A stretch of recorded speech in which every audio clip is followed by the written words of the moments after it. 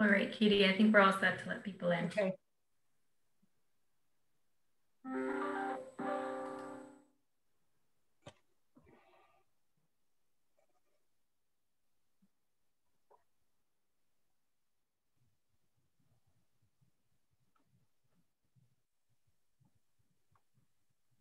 Hey everyone, we're just going to give it a, another minute to see if we can have a few more people join us. I see some friendly faces. Hi, Keith, Gwendolyn. Chris.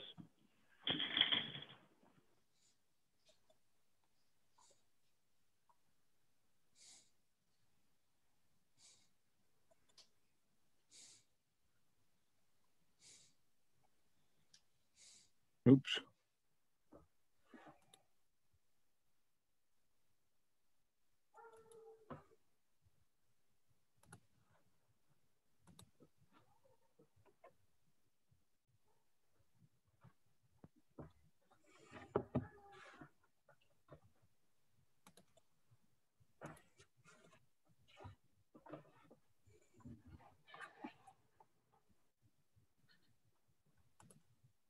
Oh no.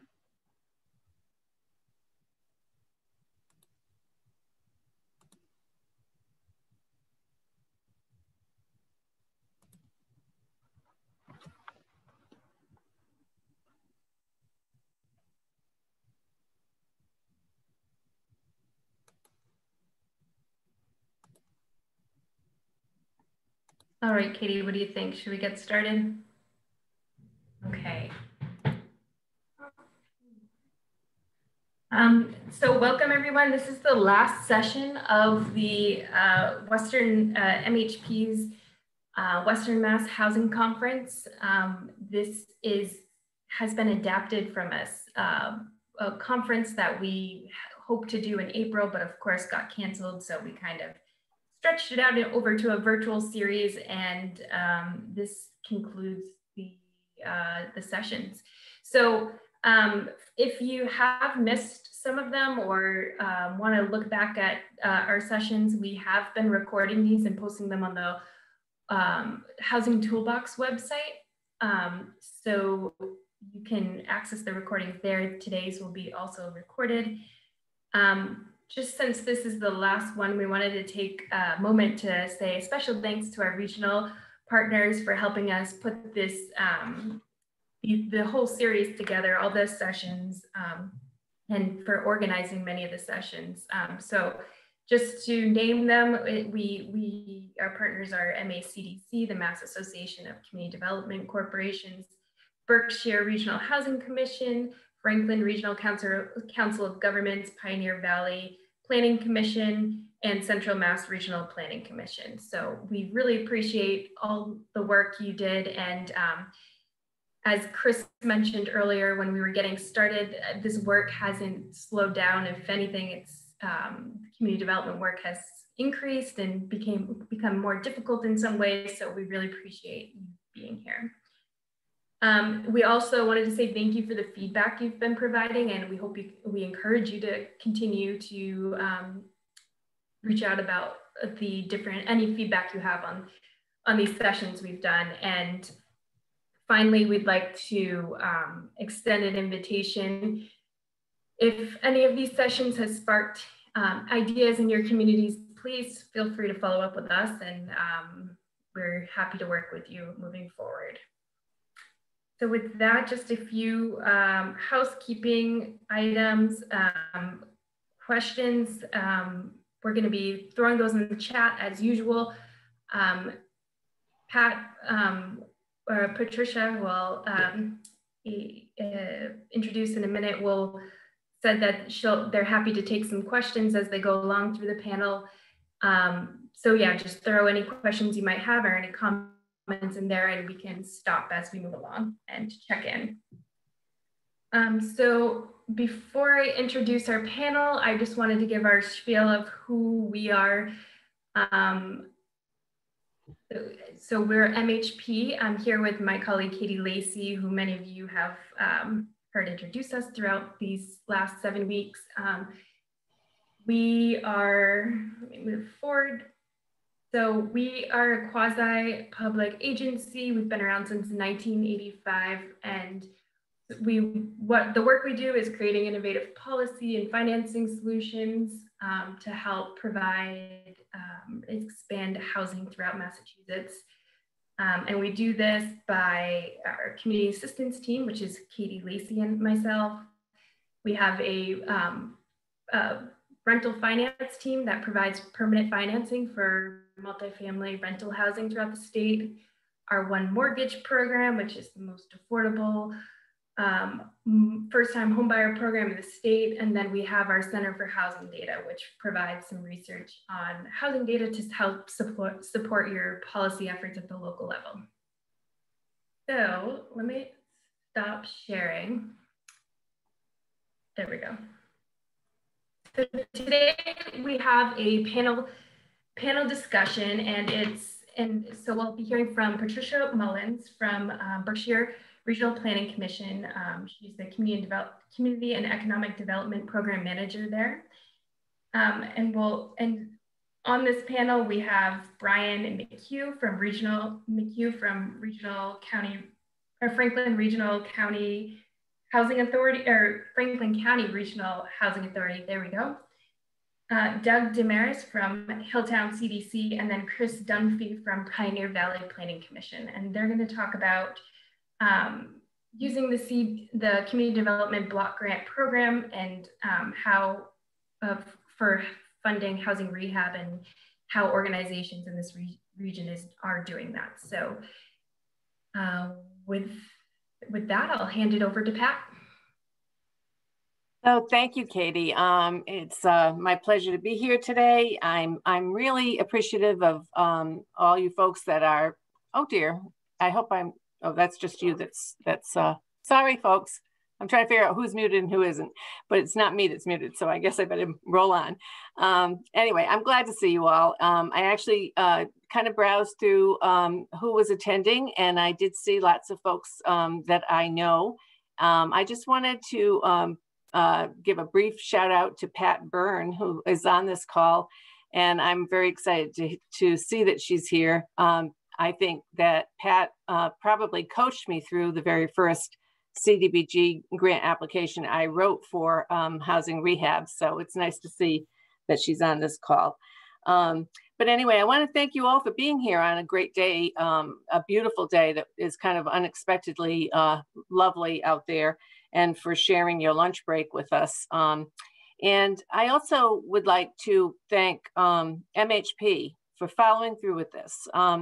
So the whole concept behind um, the Western Mass Housing Conference um, was, um, you know, originally to bring more of the um, the sessions that we normally get from the um, from the Housing Institute um, out out to the Western region, so that so that more uh, town officials and planners and interested housing advocates could share um, in some of these sessions without having to travel to Devens, um, you know, each, each year to do that.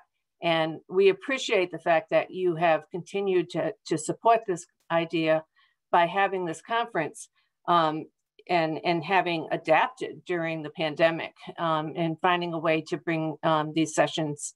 And actually, I don't see why we just don't continue. Why should we even end? We should just keep going. So, um, so again, uh, you know, Katie mentioned the, the, folks that are on the panel with me. I just want to um, say um, that I really appreciate them joining me um, in this. Chris Dunphy from Pioneer Valley uh, Planning Commission.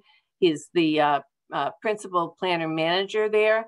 Um, and Chris has a, a real wealth of uh, experience um, with CDBG. He started in the, the late 1990s uh, so he's got 21 years of uh, CDBG experience.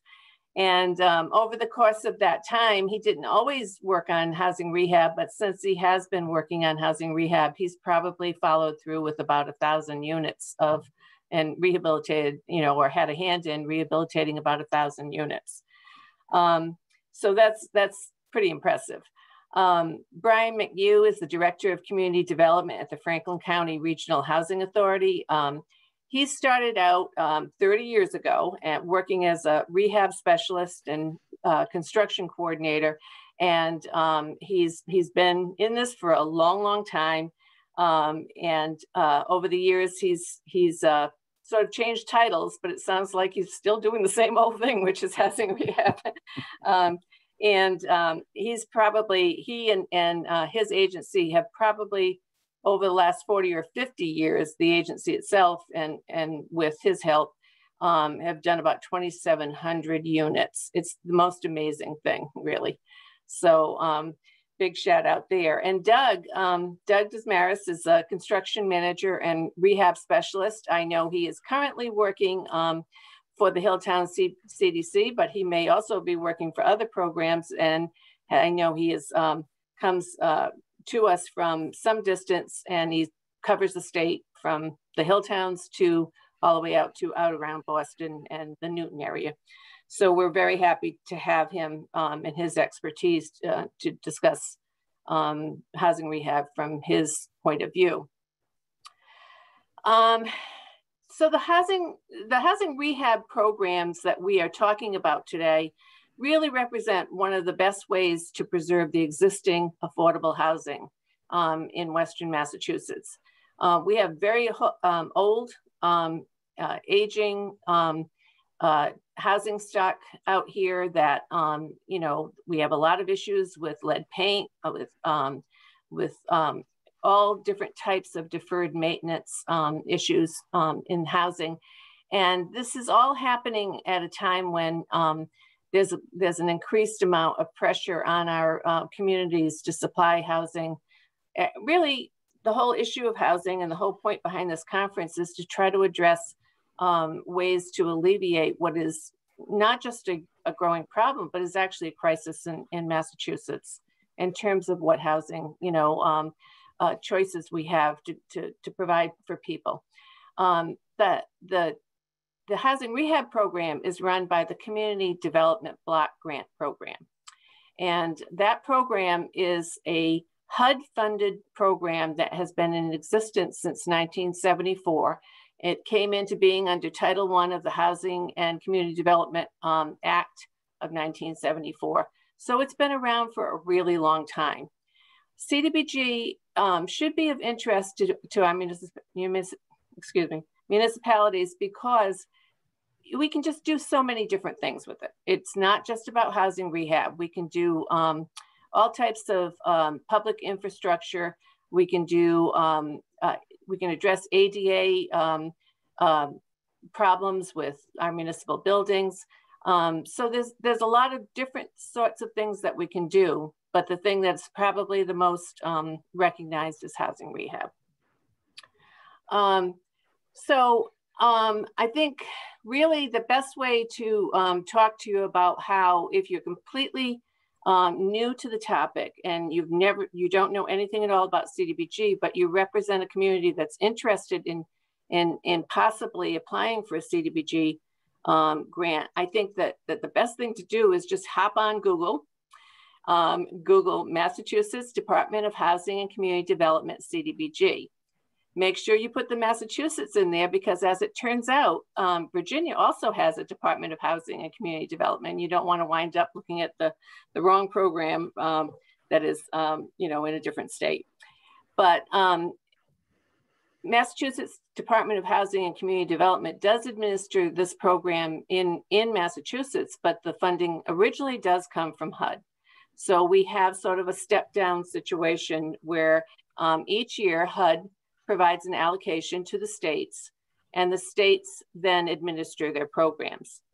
For FY20, which um, uh, applications were due for that for that program for CDBG um, this past year, right before COVID hit.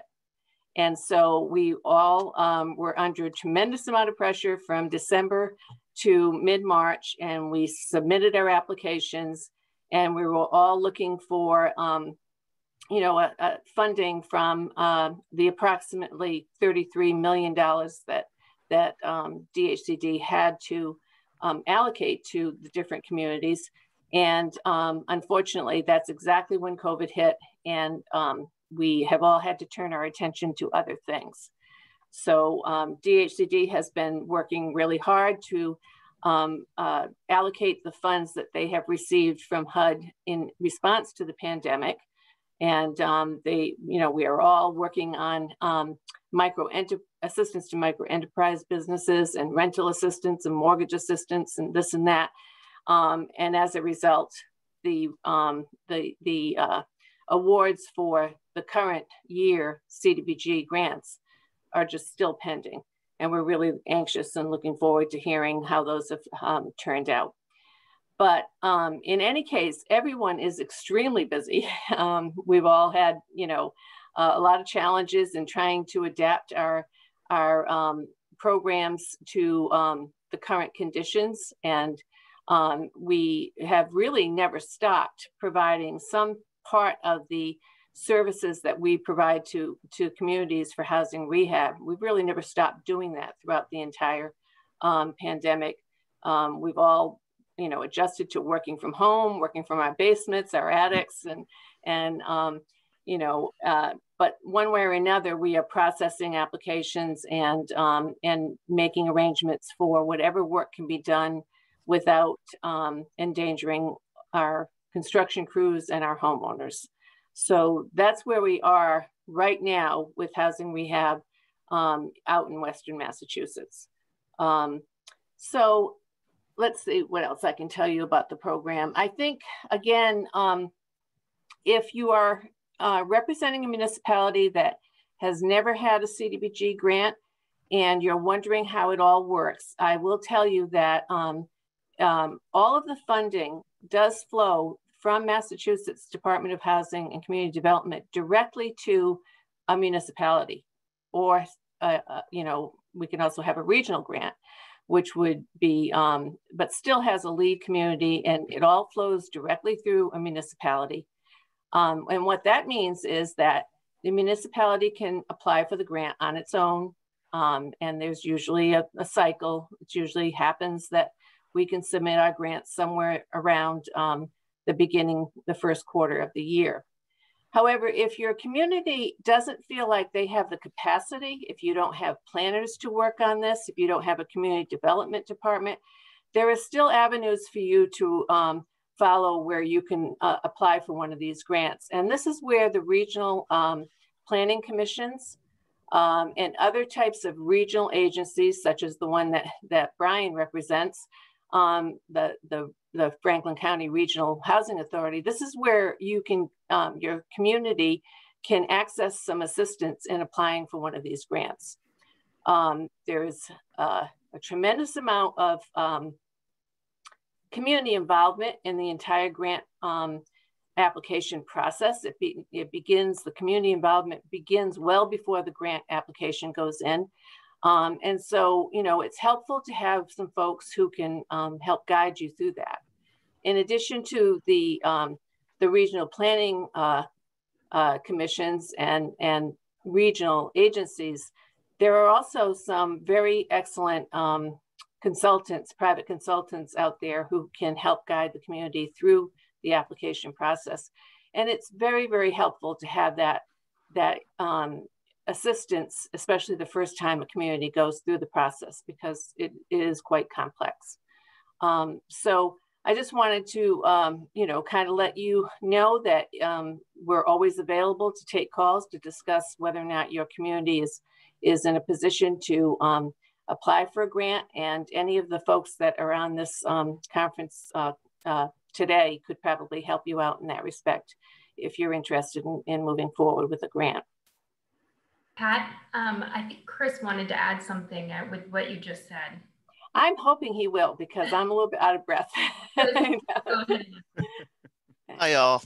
Um, I just want to um, make sure everyone understands that, uh, as Patricia said, this is a federal program. Okay, every year Congress has to go to bat and, and, decide on an allocation for this program.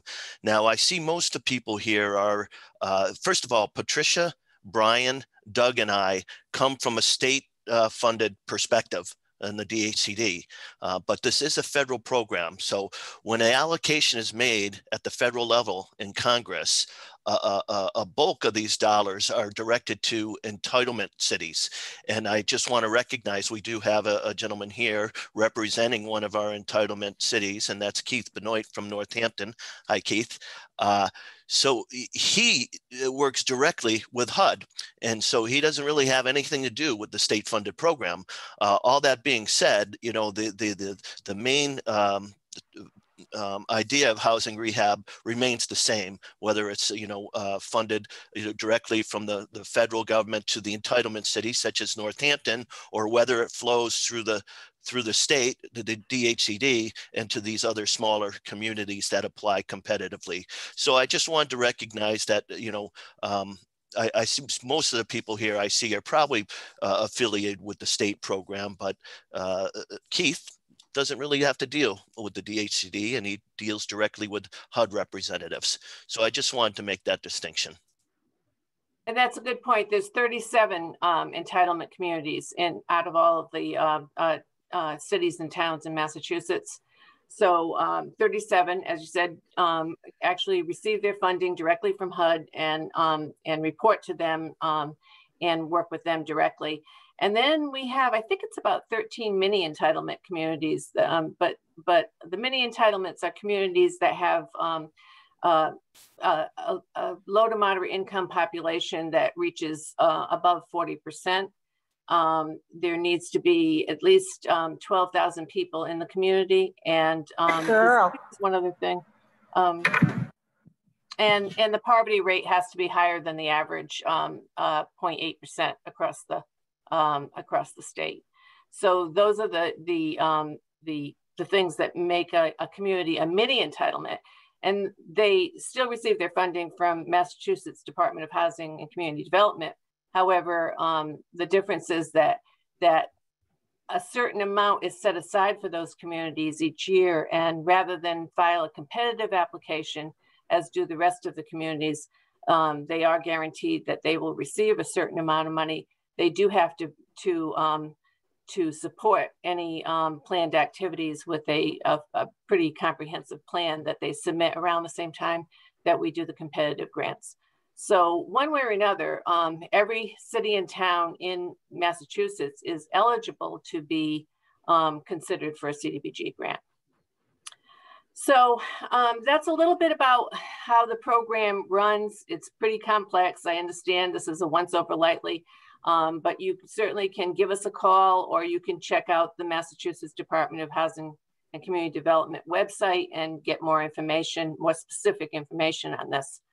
So um, at this point, what I would like to do is just kind of focus in a little bit more um, on housing rehab. And I want to turn it over to Brian, who's going to talk to us about um, what the process is like for setting up um, uh, a program, taking applications, and, and what the, um, what the um, parameters are for uh, individual housing rehab projects and, and what the applicant can expect as a process. So Brian, if you want to take over from here, I appreciate it. Thanks for that intro, intro, uh, Pat. Um, when I started, I, I, had a lot more hair and and a lot uh, less gray hair, of course. So um, anyway, uh, thanks for uh, for having me today. This is going to be a, a, brief overview. Some of these topics we can spend an entire day on, so bear with me if it's if if I don't touch on all the points.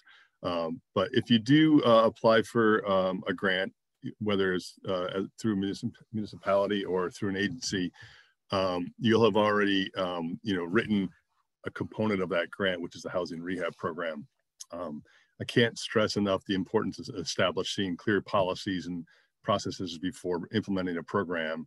Um, DHCD does have a technical guide on housing rehab, and they do have a, a CDBG manual um, that uh, includes chapter 20, which also um, uh, spells out how a housing rehab program can be run um, and certain requirements that you have um, in running that program, reporting requirements, eligibility requirements, and all that. Um, so if you, you know, if, if you're awarded, you've already developed a program and you should definitely stick with it. DHCD will expect that. There are different ways of running the program but they will always come back to you and say, if you go to them with a question, they'll often turn around and say, well, what is your, what's your policy? What did, you, what did your grant say? So uh, remember how you wrote the, wrote the grant and, and again, stick with it.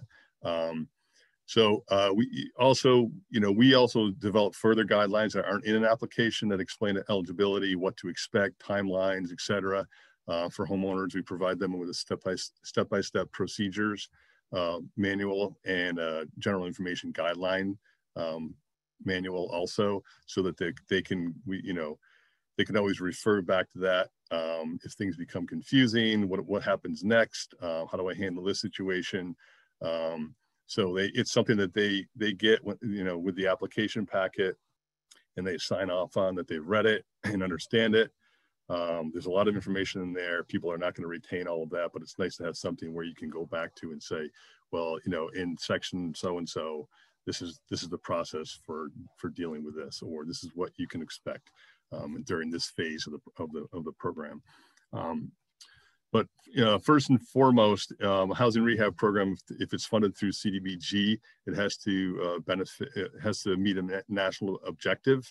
Um, and a national objective for housing rehab programs is to serve low to moderate income households.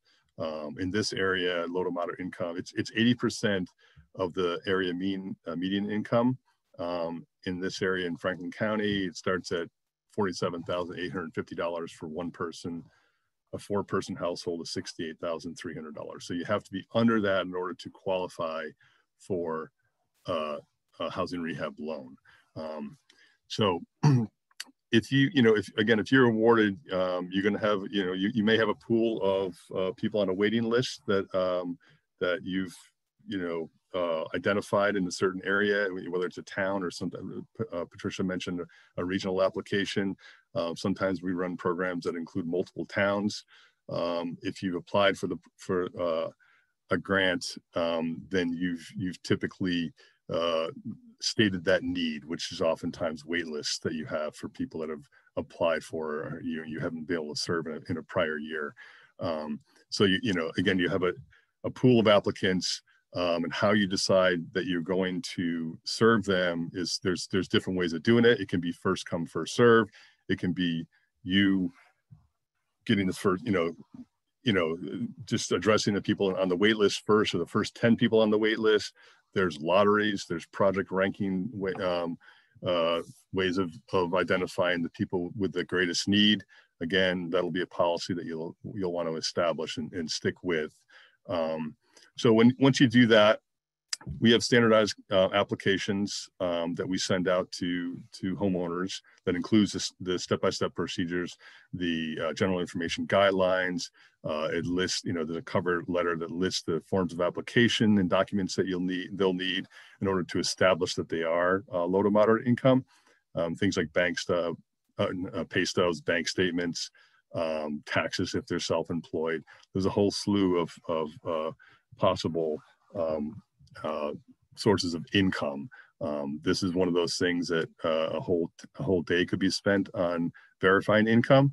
Um, so I won't I won't delve into that too much. Uh, but once you you know once once you've established someone is is um, income eligible, um, well, along with that application, sorry, along with that application, you know, it'll list things like you need to you need to provide us with a deed so you you have clear ownership of the property that uh, you know you have homeowners insurance uh, the taxes are up to date you know whether it's real estate taxes sewer water taxes um, that there are no municipal liens on the property.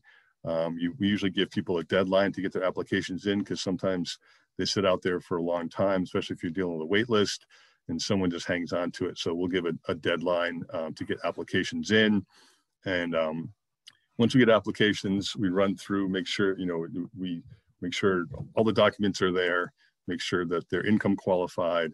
Um, sometimes things that we don't have everything, but if we have enough, we uh, we set up an intake appointment. We bring um, homeowners into the office. Actually, now we've been doing mostly through Zoom or phone calls, um, but we meet with them to sort of go over the program again, make sure they they understand the process, um, and then sort of nail down some of the, the, the miscellaneous you know documents that they may need. Um, but once that, we get through that process and they're approved, um, we set up an initial inspection. Now, I will, you know, there's, I'm going to com combine that with the with two. There's there's two topics here. One one is lead paint testing, and one is the the inspection. Um, with this money, it's uh, it's the money comes down through HUD. Um, we do have to abide by the HUD lead, uh, lead safe housing rule and by mass regulations. Um, and this is a topic that's that's discussed to death. Um, and again, it can be a whole day or a couple days um, uh, uh, we can spend on this. Um, but you will need to do lead testing on houses that are built before 1978. Um, and depending on the household makeup, if there's children under six years old, uh, depending on how much money you're spending on a house, um, uh, there's thresholds that sort of trigger certain certain regulations. Um, you'll need to identify those hazards um, and in, incorporate them into your your work write up, uh, which I'll I'll touch on in a second. Uh, I will say that you know the way we do it, we we put out a, request for proposals to uh, lead inspectors. Um, and in that, re that request for proposal or RFP includes um, some some language about um, their familiarity with the uh, the federal um, HUD HUD rules, so that they understand that we have to meet whatever the stricter of the two are, um, whether it's mass lead the mass lead law or the lead safe HUD lead safe housing rule. We have to sort of establish a path that that always is sort of looking at what the the most the most strict regulation is and abide by that. Um, so I'll go back to, so, uh, so once, you know, you can either do a lead inspection, you can call for a lead inspection before you go out to a, uh, a house, or you can, you can call for it after you go out for a house. We've done it both ways. We're now back to doing it before we go out to a house so that you know, we, we sort of get an idea what, what a, um, homeowner is applying for, um, what kind of rehab work they're applying for and you know without going to the house this isn't necessarily the best way to do it. Doug might have a different a different opinion this. I'll let him chime in when the time comes. Um, but we'll try to establish you know what they're looking for. Tell the lead inspector this is what you know what kind of work we're expecting to do there. They go out and do their inspections and then we get a, a lead inspection report that lists the hazards that we need to address um, and you'll you'll want to establish a good relationship with lead inspectors so that there you know you can nail down exactly what you're looking what you want to do and what they're going to require in order to get lead clearance at the end of the end of the project. Um, but with that in hand uh, we'll do a, a, a, an inspection of the property.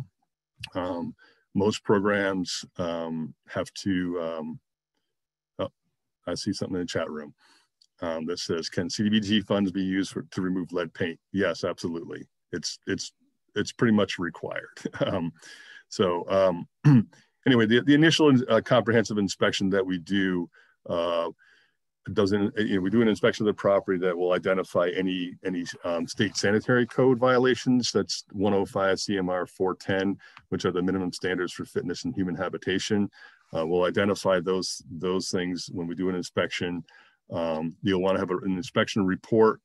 Uh, we have one that lists the, the code violations and and then uh, you know whether conforming or non-conforming and any comments off to the side if there's a non-conforming um, um, but you know there's a violation there. So uh, we also include energy efficiency upgrades too. Um, in this program they're requiring us to do to replace products with energy star products um, and use energy, energy, energy star standards um, when we do things like insulation or, or um, uh, weatherization or something like that. Yeah.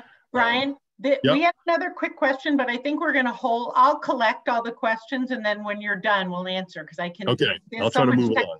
Okay, thanks.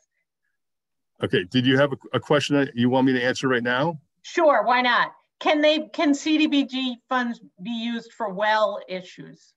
Yes. Yes. I, I, always I always sort of explain it as you know anything that goes into a house as a, as a all the systems that go into a house. So it's it's septic systems, it's wells, it's heating systems, um, it's you know windows, it's roofs, it's insulation, it's electrical, it's plumbing, um, all those things. It is not a remodeling program. Hmm. Um, that needs to be made clear. That's one of the things that you know we you know a lot of times owners or homeowners apply to us and when we're going out there doing the inspection, they're pointing out things that they may want to do um, that sort of fall into that sort of remodeling category. You know, we're looking at, you know, we can't go outside the footprint of the house unless there's something like the, an accessible bathroom that you're trying to put in or something like that. But you, you have to stick with the footprint of the house and you're, you're replacing the components of the house itself. Um, so not knocking down walls, not, you know, opening up this this wall that you know so that we have a more you know open floor plan that sort of thing uh, can't be done. So we're we're typically trying to play replace in kind with in kind. Um, having said that there are um, you know there are, some energy product energy star products that we put in that are a step above what is what is there right now. Um, but so you know when you when we do an inspection um, we'll go over what the owners are looking to have done um, and also tell them that you know the sort of things that we need to address uh, in order to be in compliance with DHCD. They they they want us to correct the uh, sanitary code violations, like I said, any other code issues, and then do Energy Star upgrades, which uh, or, you know energy efficiency upgrades.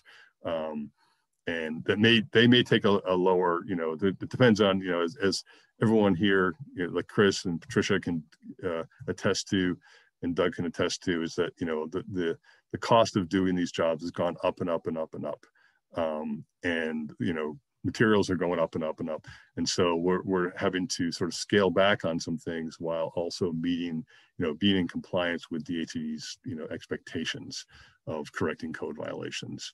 Um, so none, nothing frivolous is being done. Um, not that it ever was. Uh, um, anyway, so you know, when we we you know we do the inspections um, and do a uh, you know develop a work write up that will be um, you know sent to the the homeowner.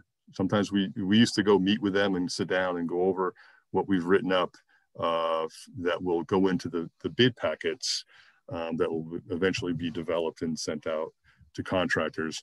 But there's a little back and forth and sort of you know zeroing in on exactly what the product the project's going to in, include. Um, and you know sometimes things have to get ironed out, and you have to go back a few times maybe um, just to sort of settle on on the scope of the project, so that when you put together a, you know a bid packet, that everyone is bidding on the same thing. There has to be open and fair competition with this with these projects. So um, it's very important to to have a work up that, that has performance standards and materials um, that the owner signs off on um, so that when it goes out to bid, you know, you everyone is bidding on again, again the same thing. Um, so, it, and and when you're developing that, we also develop a cost estimate to ensure cost reasonableness on these projects. Another um, another uh, requirement of DHCD is that you're you know you're ensuring that this you know the project is within a range that you think it should be in. Um, there are some, um, some programs that are useful in developing cost estimates and work write-ups. Um, I believe that Doug um, uses a, a, a, Housing Developer Pro, um, which we have also. You have to tweak it a lot, and I believe Doug has done a lot of tweaking, and I'd be interested in sort of getting that one day from him. Um, uh, because that program actually comes from the South, and you'll see a lot of things that are that are sort of pertinent to the South. Um, but anyway, so so once you, develop a bid packet, um, you're going to have a you know a lot of places do do this differently. The, the contractor selection process is a little different everywhere. You can have a pool of contractors that you always send these bids out to. You can have a combination of, you know, some you send it to three of those contractors and you send it um, you, you also send it to, it, it goes to the homeowner and they can, they can identify contractors that may want to bid on the project themselves, as long as they're licensed and insured, they have all the proper, you know, whether it's their lead license or just a contractor's license or plumber's license, what, what have you, we'll list all the licenses that are, that are required in the bid packet for them to bid on a job. Um, and so they it can be opened up to people beyond a contractor list that you may have that is an eligible contractors list that you've you know you've you've gotten all the information all the uh, insurance certificates from them workers comp eh, licenses and all that so you have a, a, a list of contractors that you can you can send um, send uh, bid packets to. Again, there's there's different ways of doing that, um, but you just want to always ensure that you're you know you're you maintain an open and fair competition. Um, some some places also, I know a lot of places actually have walkthroughs with contractors. Uh, well, you'll you know once you've identified your contractor pool of people that are going to be bidding on a job, where you have a, an appointment where everyone comes at one day and walks through the house and any kind of questions are raised and then and anything any clarifications that are needed are are are distributed to to those contractors uh, once they you know the rehab specialist or whoever else whoever's running the job um, will you know can once they they can answer those questions uh, even if it's a question that's raised that day and answered that day usually that's set that's sent out to all the contractors and there's an acknowledgement that they've received that information and there may be an addenda uh, or addendum to the bids, the bid specs that everyone will have to acknowledge that they received um, when the you know when they submit their bids. Um, there's always a bid due date. Um, sometimes that gets extended depending on you know various things. Um, and so bids are always due at a certain time and a certain date, and they're open that then that on that date. Um, once the, uh, the lowest qualified bidder is identified, um, we will send out a notice to the other contractors uh, that lists all the bids that were received, what their, what their prices were, um, and, and identify the, the winning bidder. Uh, and once they accept that as the, you know, the, that contractor accepts the bid, um, then, well, not accepts the bid, but acknowledges that they are the winning bidder and they're going to go through the project. Uh, we, we have standardized contracts that they that they uh, they need to sign. It's a contract between the home, homeowners and the con and the contractors, um, and it can be done in different ways. Oftentimes, it's the owner and the contractor getting together and, and, and signing those contracts. Within those contracts are the bid specs that were put out, you know, the the um, with the bid packet, and then other legal legal stuff in a contract. Um, but again, there's, there's standardized contracts. Uh, and also, in, you know, those con the contract packet will include lien releases. Um, you know, at the end of a project, you, you're going to want to have a, what's called a clean lien so that no one can, can place a lien on the project when it's completed um, for uh, failure to pay for materials or failure to pay for labor on that job. Uh, it'll include sign-outs from different municipal inspectors, whether it's uh, electrical inspectors, plumbing inspector, building inspector, lead inspector. Um, it'll include also the pay schedule. Um, and once those contracts are signed, we we uh, we hold a loan closing um, with the owners. Um, and you know these are the way that this is set up with us is that they're deferred payment, zero percent deferred payment loans. Uh, they get recorded against the property that uh, get uh, forgiven over the course of 15 years. Um, so, and after 15 years, they owe nothing. Um, so we hold a, loan closing. There's a, a right of rescission period for them uh, owners to back out of the project or the, the loan for three days. And then after that period expires, we send out notices to proceed to the contractor, um, which again include you know list this the schedule of payments and and um, various processes and, and sign offs with that um, with the notice just as one more layer of protection so um, so that's sort of it in a nutshell i'm sorry that took way longer than uh, than i had a lot been allotted um, so i'm going to pass it off to doug from here if i could uh, from the point of, of notice uh, notice to proceed going out to a contractor. Yeah, go move on. Let's hear. and I know there's going to be some questions at the end of this, so we'll hopefully get time to circle back. All right. So, um, after the proceed is sent, it, construction delays or, or, construction startup issues, um, it varies greatly because I deal with um, you know, from the hill towns all the way down to Quincy to Brockton, I deal with entitlement. I deal with the um, in the semi entitlements also, and um, I'm finding contract. So, for instance, out in the mountain area, the hill towns, we have two regular contractors, maybe three. So the first delay we're going to get is how many jobs are these guys already doing for us? Now I'm in Newton, we've got 18 contractors. So the delay is much different. Um, the pandemic though has changed things in the in the fact of trying to get materials. Uh, some of the windows and doors are now two months out, where they used to just be two weeks out. And um, the getting materials like pressure treated lumber has been very difficult. We just did a, a porch up in Greenfield, and we had to go to three different lumber yards to get the material. Starting to get a little bit better, but again, the prices have doubled or close to doubling from what I'm finding. I'm finding that those to be the worst startup delays is going to be depending on what community, how many guys you have working for you, and then can we get the material? Um, homeowners clearing up workspaces. I don't run into too many issues with that unless we're dealing with the lead paint issues. Um, we don't have the contractors move homeowners' personal belongings because that's when they come back and say, you broke my TV, you broke my bureau, you broke my bed. So we usually, unless they're an elderly individual and absolutely have no help at all, they're responsible for moving their own furniture. And I usually have to go and keep pressuring them, say, listen, we're starting Monday and you haven't moved anything yet. So that's an ongoing issue there. Um, change orders, unless it's a straight up lead project, almost every job has a change order to it, some some form or another. You know, so um, again, what I do is if uh, if you have a change order, you need to call me now because I work in seven different communities. Um, maybe I'm in the hill towns on a Friday and I get a call from a guy in Brockton who says, "Hey, I just stripped the roof and the sheathing's all rotted."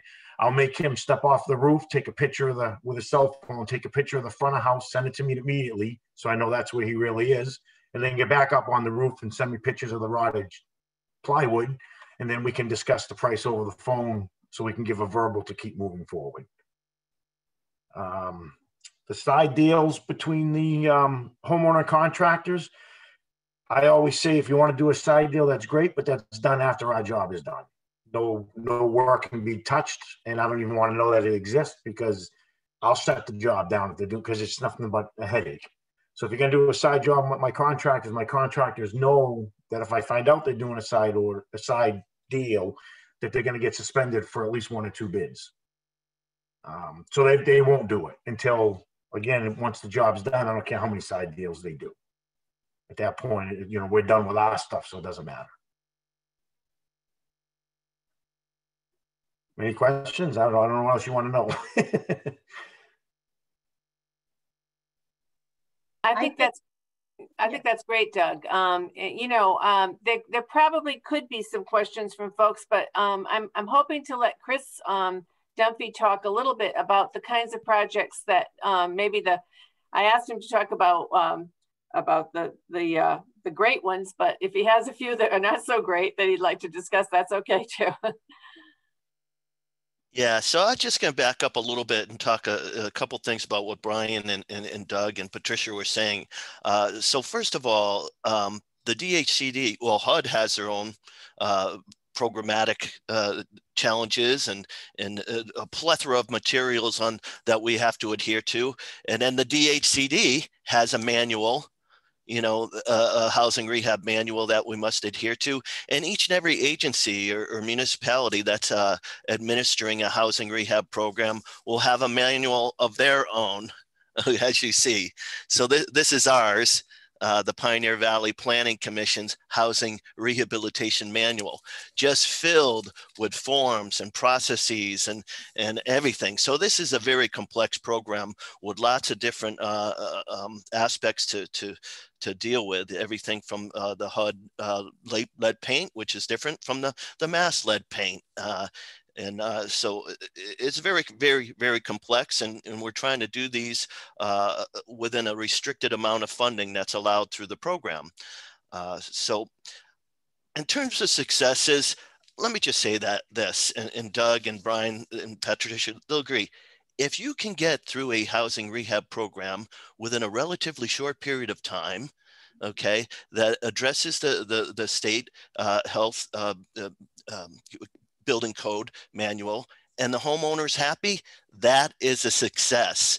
I mean, you know, we're not doing better homes and garden projects. okay uh, we're, we're not looking to see our projects appear in, in fancy magazines because you know what we are not doing remodeling and that's the first thing that we have to try to uh, train or coach our, our clients if, if you're coming into this program for fancy bathrooms and kitchens you've come to the wrong place we are trying to put back uh, code issues that have failed you know, in the realm of yes, we can do some work in bathrooms and, and kitchens and whatnot, but you know, uh, uh if it's a flooring issue, you know, we're probably not going to be doing hardwood floors or or, or fancy tile. We're going to get you a smooth, flat surface that meets the code you know um, and in terms of the the products themselves that go into a project no we're not going to you know spec the cheapest things either but we're not doing custom okay so clarifying what this program can do to the clients or for the clients on the onset uh, of, of a project is very, very important. So they know uh, what they're getting into and not to have great expectations for some sort of remodeling or, or, or expansion. We're not doing, as, as Brian pointed out, we're not changing the footprint uh, of these properties either, you know, because there's the environmental uh, review, which deals with the historic concerns. And so very, very, very complex. But I will share two recent projects that I think had a uh, had a, a, good ending for for our clients. Okay, so the first one, um, not too long ago, um, sadly, we were dealing with a, in a client that, that was being abused, you know, in the household, and the abuser actually was incarcerated but that abuser was actually eh, an owner of the house. So there are forms and processes, okay? Brian mentioned something about a lien as, as, part of our program. If we're going to be filing a lien on the house, okay, it, it has to be notarized and approved by the homeowners of that house. So here we are trying to deal with a very, very complex situation. Uh, and, and, you know, a, a, large part of this project was putting on a roof uh, because there was literally water pouring in through the house. But one of the, the owners was presently incarcerated, but uh, there was a social worker involved as well. So the social worker actually tipped me off and said, hey, look, this person is going to be in such and such a court on this day, and he's willing to talk to you. So I, I packed up my uh, one of my coworkers who happens to be a licensed notary public, and I said, "Come on, we're going for a ride." And we went to that courthouse. We met with that uh, uh, that person, and who was fortunately willing to sign the paperwork so we could sort of close the lien and make this this project happen for this woman. So um, although it wasn't, you know, the housing rehab work in itself wasn't dramatic, but the, you know, what we were able to do and, and to try and make that happen was a, a, a success, success. So that was one project. Now a completely new, different one, which which I'm right now, right presently beginning to wrap up. Okay, so it was last year um, we had lined up this two family household. Uh, one of the units uh, was occupied with a children under six and who had been uh, lead you know, uh, tested in the schools as having traces of lead paint in his, his system. So, well, right then and there, that's a concern. You want to do what you can, you know? So we went uh, forward and uh, we did the initial in inspection with the rehab specialist. And right off the bat, they said, you know, to come into compliance, this is, this is going to be a hundred and ten, hundred and twenty thousand dollar project which exceeds the allowable cost through the state program. As uh, some of us know that administer this, we're allowed to go up to $40,000 per unit without getting special uh, waivers, you know, to proceed.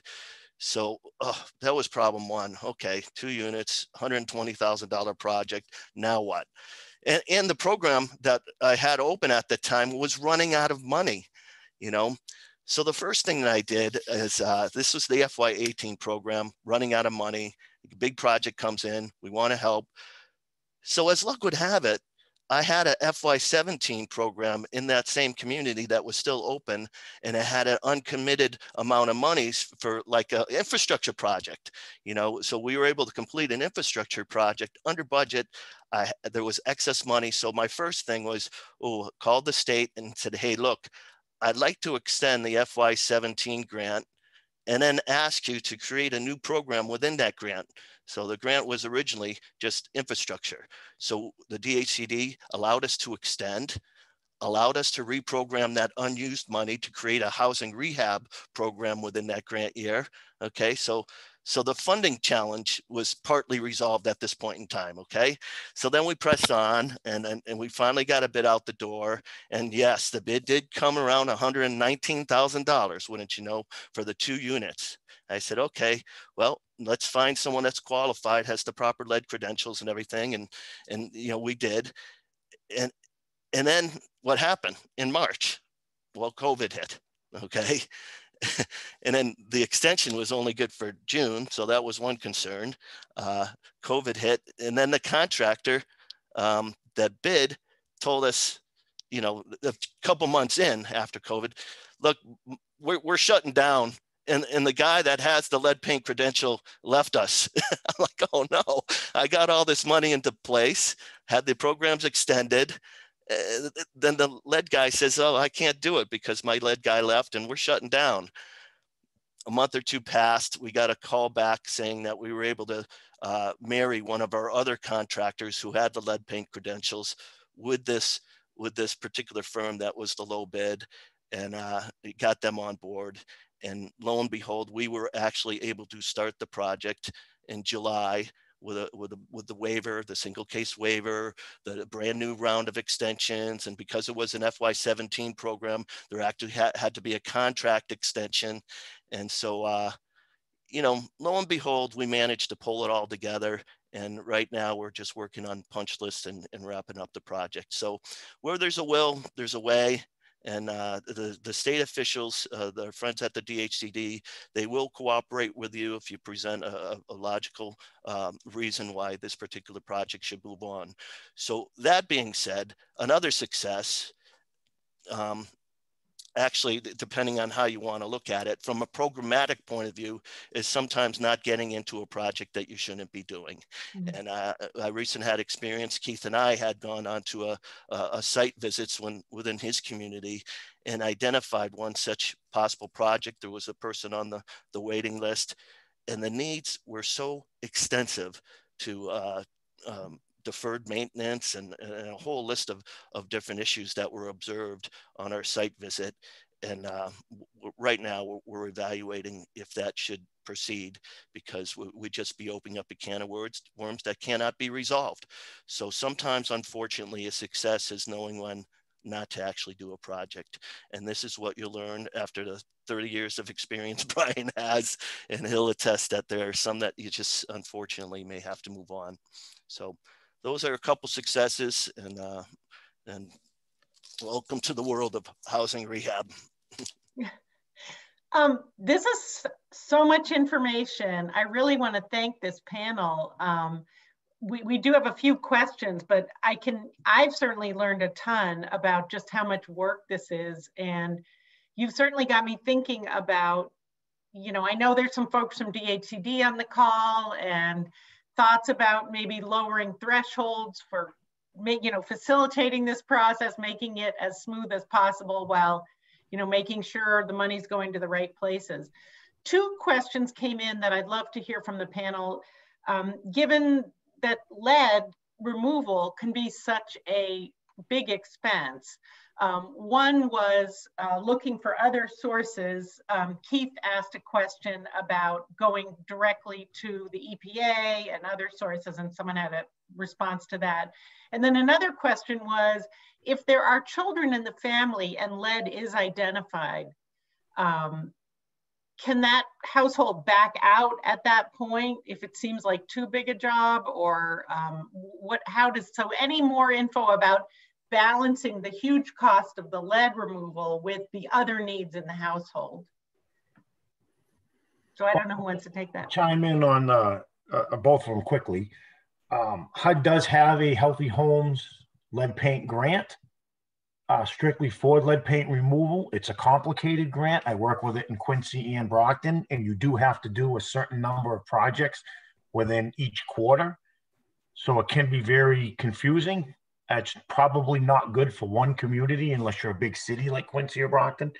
But if several communities get together, they can they may be able to apply as as like you do with your CDBG programs. I'm not sure, but you may be able to apply and say, let's do this.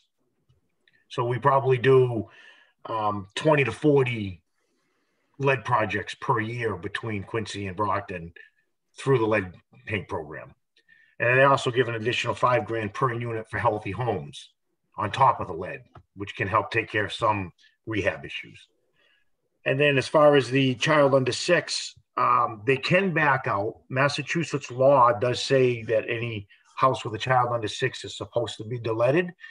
Um, the lead police will not come knocking on your door, even if you have a report, unless the child's elevated has an elevated level. So there are times when we do we do tell the clients that they are responsible to lead on their own if they back out. But again, the state's not going to come kicking in their door saying, "Oh, we got a lead report now. You better do this," unless there's an elevated level, and then they're going to make you do it anyways. And then they, you know, there is also um, uh, get the lead out program to help offset some of the lead costs, which is a whole nother set of um, hurdles sometimes for a homeowner, but that is another funding source for the lead. I just want to follow up on what Doug is saying. Like, first of all, a question came from Susan. The, can CDBG funds be used to remove lead? Well, CDBG funds can be used to address the, the, the issues of lead paint, but it doesn't always mean removal. And uh, Doug and Brian can maybe go into this a little bit more, but depending on the factors, you know, it could be in, in some cases encapsulation, you know, and that's a treatment. So you're not actually removing it, it's still there, uh, you know, but, you know, it, it's dealt with in a different way. And yes, uh, Wayfinders here in Springfield, Mass does have a Get the Lead Out program. And uh, I believe it, it it, it operates somewhat as a deferred loan as well.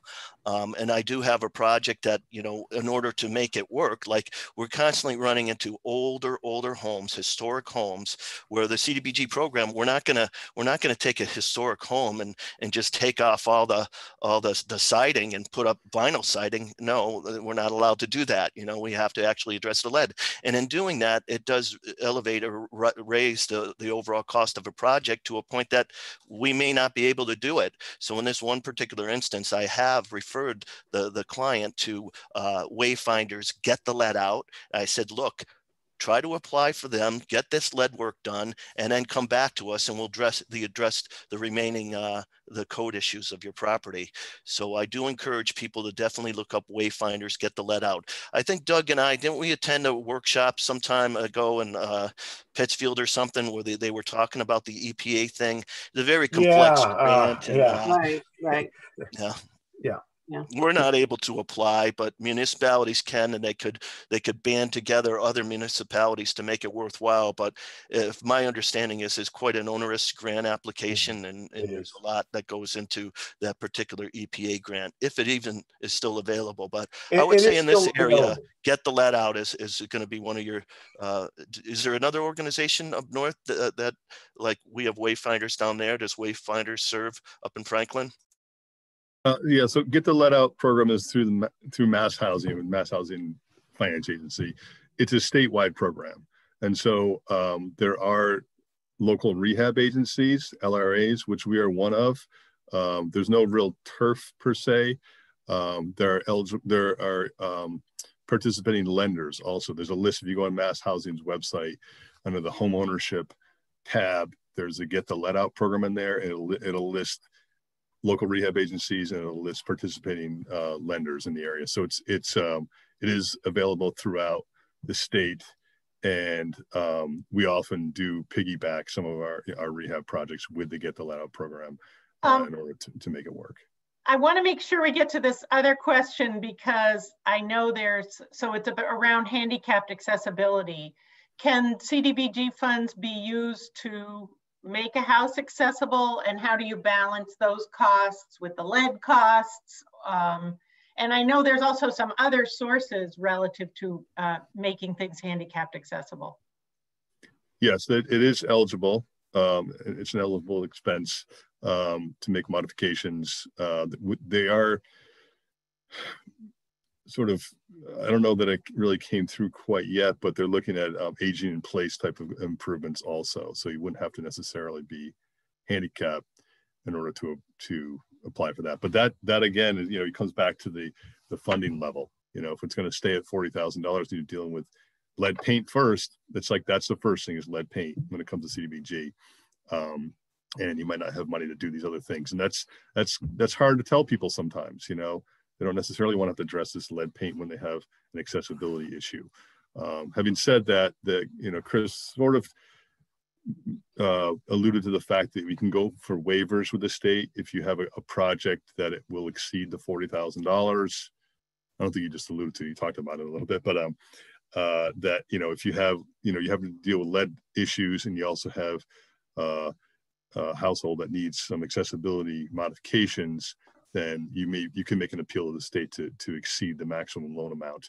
There also is the um, home modification loan program, um, which uh, is strictly for accessibility improvements, and that's through um, CEDAC, right? Is it CEDAC? Yes. Right. That's Yeah, what I was yeah. was mentioning. Yep. Yeah.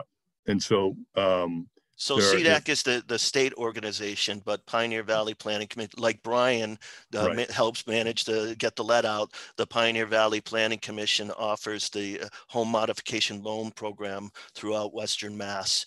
Uh, in addition, Wayfinders does it as well. So- Right, and, and in the greater Boston area, that's Metro Housing Boston, or what it's, got- its new name that I, I forget.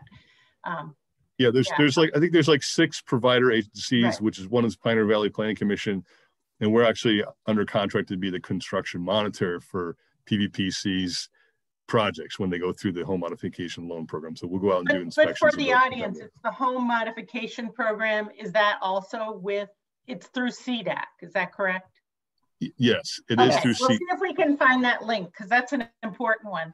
So it's home modification loan program, HMLP, they refer to it as. Got it. So it's, it's, a and it's the same, uh, it's a zero percent deferred payment loan. It does not get forgiven over the course of time, though. It's like you pay whatever, just like get the lead out, is that it's a, you know, whatever you, whatever you borrow is what you're gonna owe when the house sells or transfers ownership, Right. be it next year, ten years, twenty years down the line. So when we do get a house that is in need of some uh, home modifications for the purpose of, of accessibility, we will try to work with the homeowner and rest things through CDBG as best as we can. Uh, but there may come a point, you know, that the, the needs again exceed the parameters of the CDBG program, and a referral will have to occur to a home modification loan uh, to to actually see that the work that they they wanted gets done. But to back up on some what Doug was saying, we're very careful not to like commingle projects at the same time, which could be, get very, very confusing for the homeowner and for us as an administrating agency. Oh, well, you know, like in the case like Doug saying the homeowner wanted to do some sort of separate deal with the contractor. Absolutely not, because you know if that happens, they're going to want to ultimately, in their mind, commingle what happened on their private deal with your project that you're managing in. So that is something that you definitely want to avoid uh, as best you can is commingling different projects at the same time or different sources of funds. Okay, we're getting some great, I think, you know, this is, we, we have a few minutes if people have other questions. This is obviously super highly technical information and you guys have really encapsulated it so well. So I, I really appreciate that.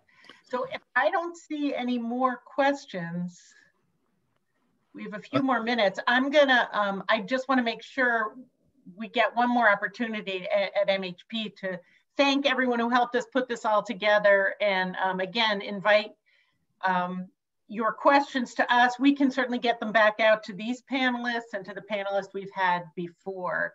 So um, we're hopeful that we can continue to work in Western Mass. And um, oh wait, quest, quick question. How often can someone get the modification if they have several big projects? Is that for an, an individual homeowner? I'm not sure I understand that question. Uh, let's see.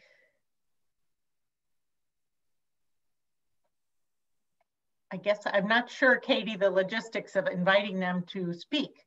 It says, how often can someone get the modification if they have several projects? And perhaps that's a single, you know, can there be repeat clients or or is that from an, an We don't have a strict policy um, here at the PVPC, but most definitely, it, it, we're not going to want, we're, this is not a maintenance program. So again, it's not a remodeling program.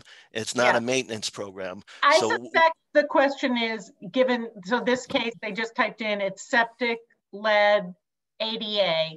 So given that you have a cost threshold, can you come back and do it in chunks? Technically, you can, yes. Um, we try to, you know, if we have a, a wait list in the town, uh, we'll, you know, and someone goes through the program one year, depending on what their need is in the following year. If they have a, a failed septic system, that's going to rise to the top, of course.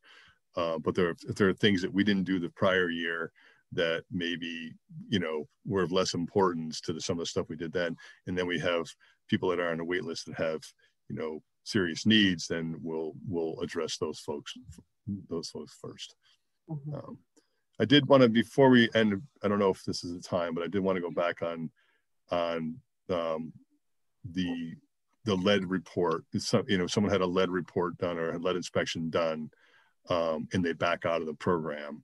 I just wanted to be want them to be sure that they're like they understand that yeah, Doug's right. They're not going to come knocking on your door, but there will be a lead report on record. And if and if you decide to have someone who isn't qualified to do that work, um, do some of that work. If, if, your intent, it always comes back to this intent thing with with with um, uh, mass D, DPH is what what is your intent if you're going to if you decide you're going to replace your windows because you want to minimize the lead, you know, lead exposure in your house and you have a lead report done on already that's on record then you you may get in trouble at that point. They may they may consider that to be unauthorized deleading. So just be careful if you have a report on what you're going to do to your house if you decide to back out of a program. Um, just just wanted to put that out there. That was a great answer. and again, the um, the audience is submitting some terrific, helpful comments um, as this goes along. So um, Katie, I can't remember how you save the chat if people want to save the, the links that people are sending in this. Yes, so you can, uh, there should be like three dots at the top of the chat. Oh yeah, there you go. Or at the bottom, sorry. And yeah. save chat. Yeah. Well, with that, we're just at time. But again, this has been an amazing panel. And I'm, I'm so grateful you could take time out of what's obviously an insane season for CDBG in, in every possible way. Um, so good luck, you guys. And um, thank you for everything you do. Thank you for everything you do too. Yeah. Okay. Thanks for having us. Okay. Bye-bye. Thank you very much. Bye all. Thanks everybody for being here. Please call if you. you have questions that I might be able to answer. Take care. Bye.